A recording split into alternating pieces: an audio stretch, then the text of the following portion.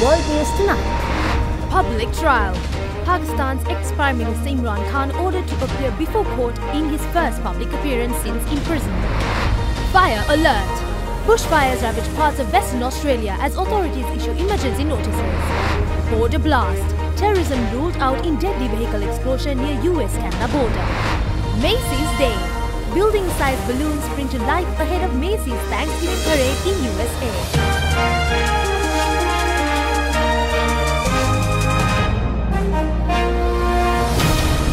This is Ada Derana World News Tonight. Reporting from Colombo, here is Sanuvi Mudanayaka. A very good evening and you're joining us on World News. Tonight's top story starts in neighboring Pakistan.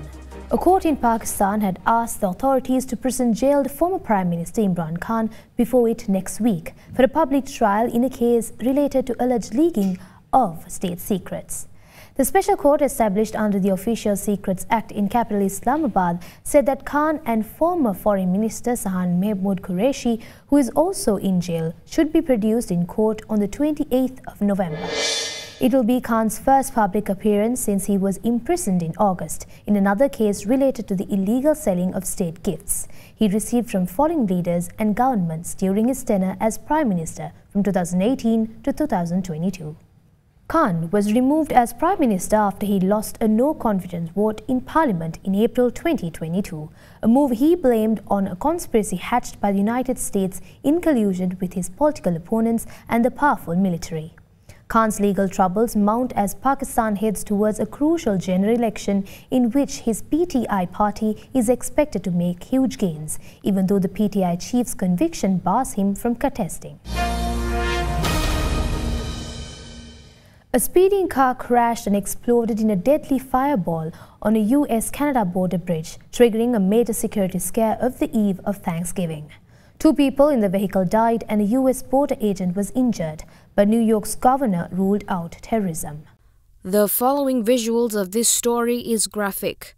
Viewer discretion is strictly advised. U.S. authorities say there is no evidence a deadly car crash on Wednesday at a Niagara Falls U.S. Canadian border crossing was an act of terror. Details surrounding the Rainbow Bridge crash remain murky hours later, however, leaving it to be determined whether it was intentional or accidental. Here's New York Governor. Kathy Hochul. At this time, there is no indication of a terrorist involved attack here at the Rainbow Bridge in Western New York. We've identified that this is a local individual, a Western New Yorker. Two individuals died in the the vehicle. This security footage of the crash shows the car traveling from the U.S. side at high speed, then hitting an object and flying into the air over an eight foot fence before crashing to the ground in flames. Ricky Wilson witnessed the incident firsthand. I closed the door to my car, and about 30 feet from me, I seen something airborne. I first thought it was an airplane. It looked like slow motion. And I said, My God, it's a car. And it, it's a vehicle, and it's flying through the air he hit the concrete barrier probably uh, right at the signal, God knows how many thousands of feet before the bridge. It went airborne, and we all heard, the people in the building heard it, the uh, metal on metal. Then all of a sudden, I saw black smoke and then fire. There was no explosion. The driver was a 56 year old man who was traveling in a Bentley automobile with his wife to attend a concert by the rock group Kiss in Toronto. The crash comes amid heightened security concerns stemming from the conflict in the Middle East and at the peak of U.S. holiday travel on the eve of Thanksgiving. Hochul said Rainbow Bridge will remain closed as authorities conduct their investigation and that other Niagara crossings will remain open but on quote heightened alert status. Now, Australia is being challenged by raging bushfires across the western part of the country. We've also learned that fires ravaging Perth's northern suburbs are expected to continue for several days. To report more on the latest developments, we have Derana special correspondent Adshaya Vasakan joining us from Melbourne, Australia. Yes, Sanuvi. At least 10 homes and 4 structures have been lost while more than 500 people are without electricity and up to 100 transmission lines have also been impacted due to the fire across the city of Wanneroo and Swan in Western Australia. The Department of Fire and Emergency Service has issued an emergency warning for residents in parts of Banksia Grove, Joondalup, Maribyrnong, Melaleuca, Sinagra, Tapping and Wanneroo as well. Moreover, the residents in these areas are advised to stay up to date with the latest emergency warnings and advice on the Emergency Western Australia website. The fire has burned through about 1,500 hectares of land as of right now, with trees and land in the affected areas still smouldering.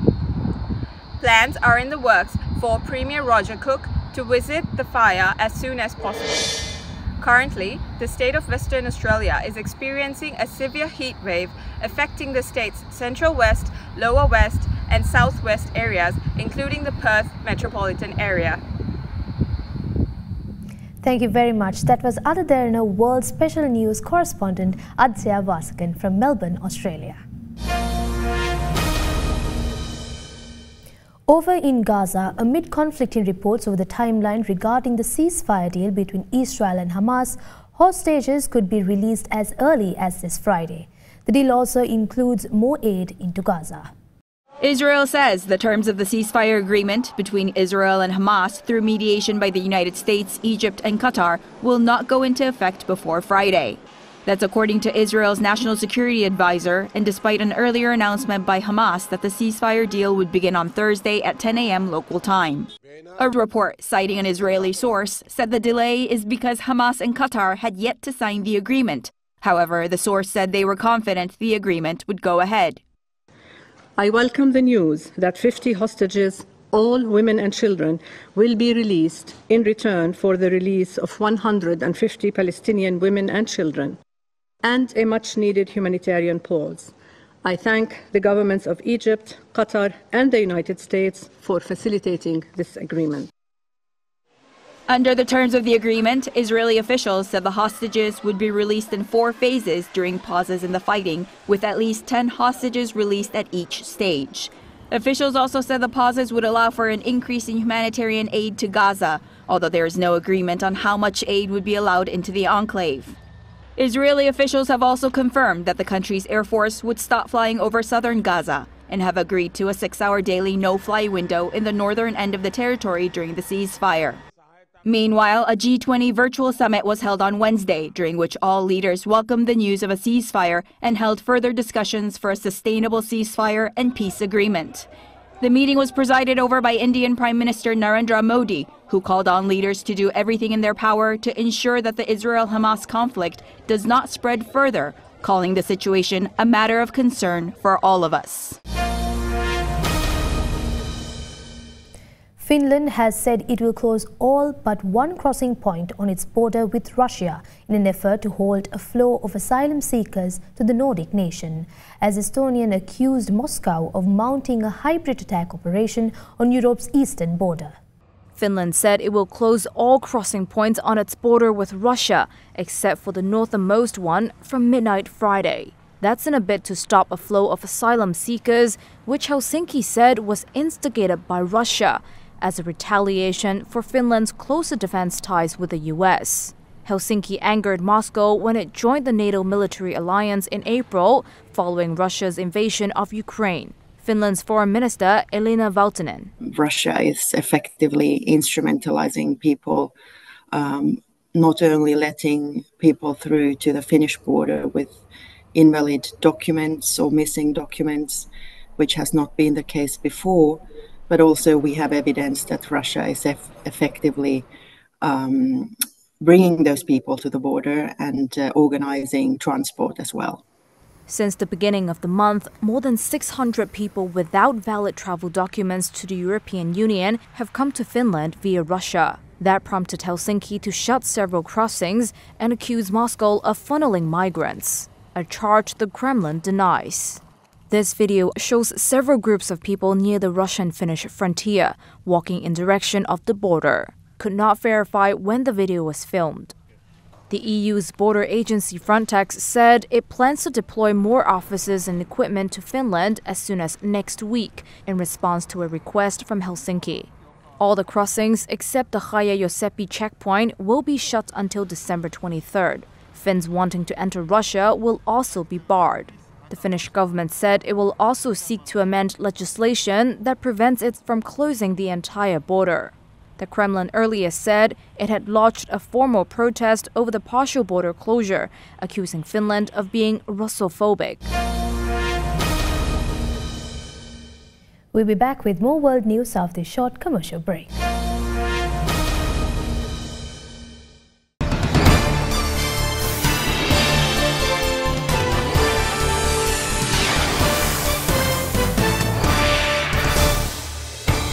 Major U.S. election updates on the road to the White House next.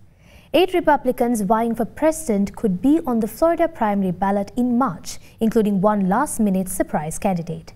The Republican Party of Florida announced the primary ballot lineup immediately after the party's internal qualifying deadline had passed. They include North Dakota Governor Doug Burgum, former New Jersey Governor Chris Christie, Florida Governor Ron DeSantis, former U.S. Ambassador to the UN Nikki Haley, former Arkansas Governor Asa Hutchinson, entrepreneur Vivek Ramaswamy, and former President Donald Trump. Senator Tim Scott, who abruptly ended his campaign this month, qualified for the Florida primary, but is not expected to appear on the ballot, according to the Republican Party of Florida. One surprise candidate who filed to be on the Florida ballot was Ryan Binkley, a CEO and pastor who launched his long shot bid for president earlier this year and has largely financed his campaign by himself. Federal campaign filings show that Binkley had spent more than $7 million on the race by the end of September. Many GOP candidates wanting to appear on the ballot appeared at the Floridian Freedom Summit earlier this month, including Trump and DeSantis.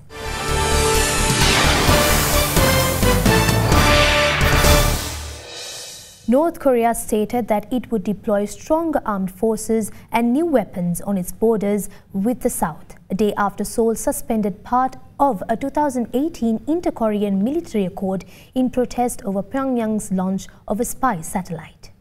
North Korea said on Thursday it would scrap a military deal with the South and deploy more troops along their shared border. That's after Seoul suspended part of a 2018 pact with the North a day earlier in protest over Pyongyang's launch of a spy satellite earlier this week. North Korea's defense ministry said in a statement, quote, From now on, our army will never be bound by the September 19th North-South military agreement. And quote, We will withdraw the military steps taken to prevent military tension and conflict in all spheres, including ground, sea, and air, and deploy more powerful armed forces and new type military hardware in the region along the military demarcation line. The statement came hours after Pyongyang fired a ballistic missile toward the sea on Wednesday. South Korea said that launch appeared to have failed. Tuesday's satellite launch was North Korea's third attempt this year, after two failures. It came after North Korea's leader, Kim Jong un, made a rare trip to Russia, during which Russian President Vladimir Putin vowed deeper cooperation, including helping Pyongyang build satellites. Seoul says it's likely Russia helped in technical aspects of the launch, which drew condemnation worldwide for flouting UN resolutions that bar Pyongyang from tech that could be used in ballistic missile programs. Seoul believes the satellite has entered orbit, but said it needs more time to work out if it was functional.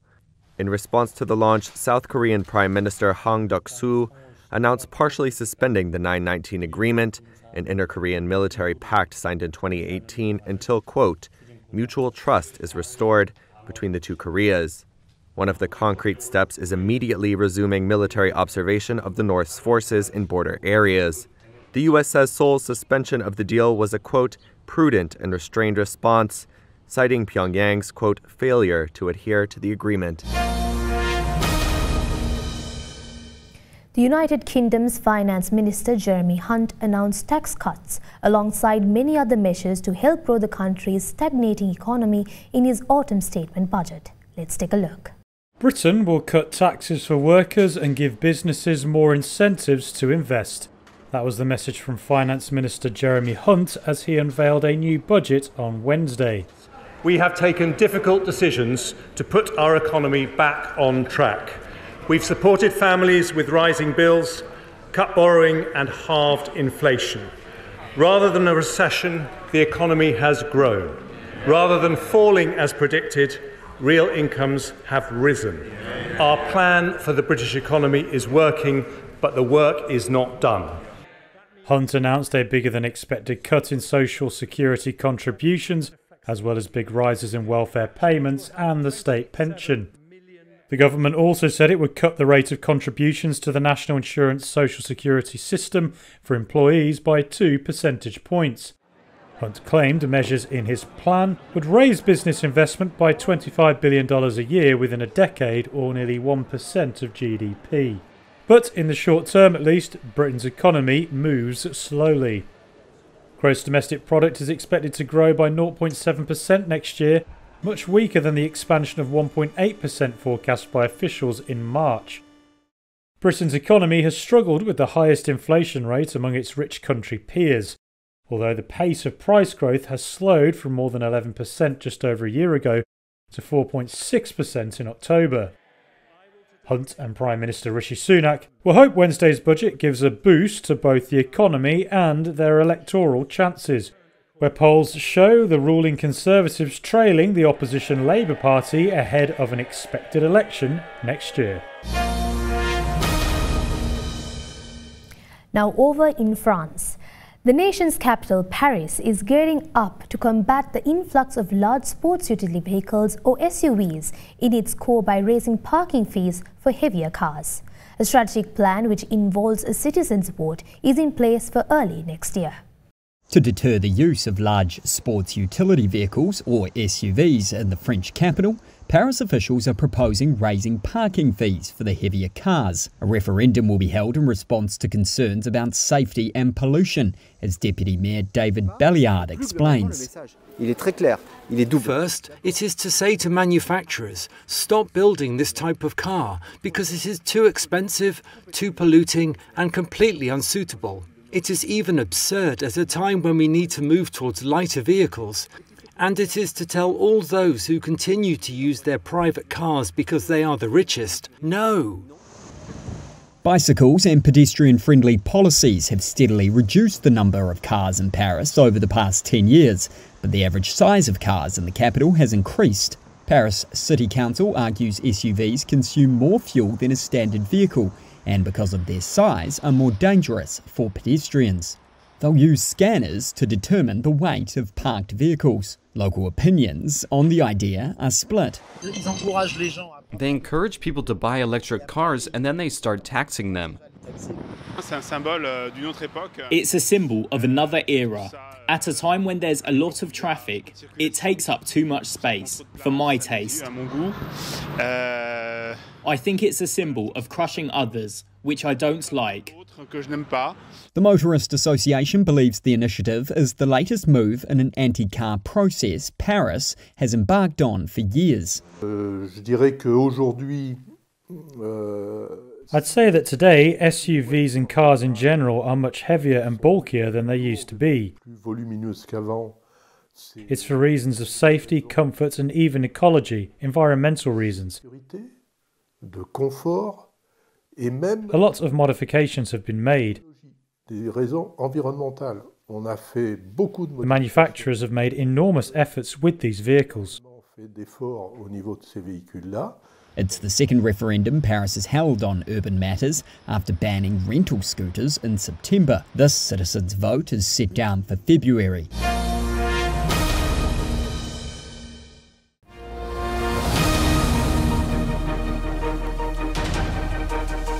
Welcome back. Trapped Indian workers are close to being rescued. For more on that story and more, let's take around the world in a minute. Rescuers in India drilled through debris to reach 41 men trapped in a tunnel in Himalayan region after removing a metal obstruction that slowed progress overnight. New Zealand's incoming Prime Minister Christopher Luxon stated that his National Party had reached an agreement with ACT New Zealand and New Zealand First to form a government, ending weeks of negotiation and political uncertainty with the country under a caretaker government. Anti-Islam populist Geert Wilders won a huge victory in Dutch elections in a stunning lurch to the far right for a nation once famed as a beacon of tolerance. Oscar-winning actor Jamie Foxx was accused of sexual assault in a lawsuit that alleged he groped a woman at a rooftop bar in August 2015. The Mexican army was deployed in the streets of Culiacan after the National Guard captured Nestor Isidro Perez Salas, or El Nini, who is accused of heading security for the factions of the Sinaloa cartel.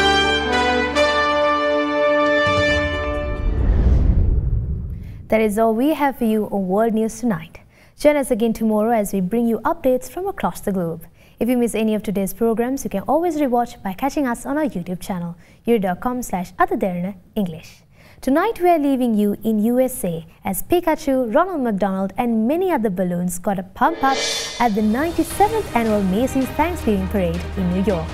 Thank you for watching. Have a great night.